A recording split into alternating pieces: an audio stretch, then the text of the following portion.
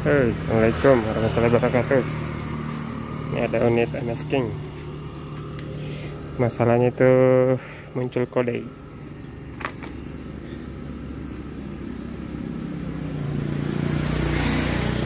Kalau di starter dia berat.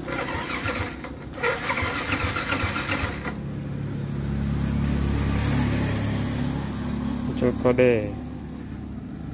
Terus ya. Kode 96 dan lampu mil berkedip dua kali cepat.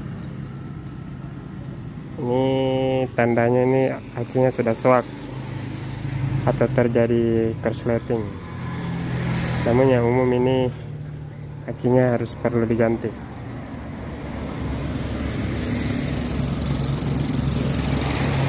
Akinya sudah perlu diganti. Kita coba engkol ya hidup. Motor hidup.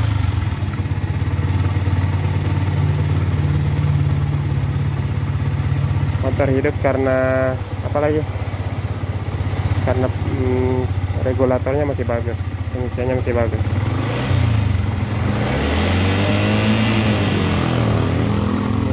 Lampu minyak nyala terus saat mesin hidup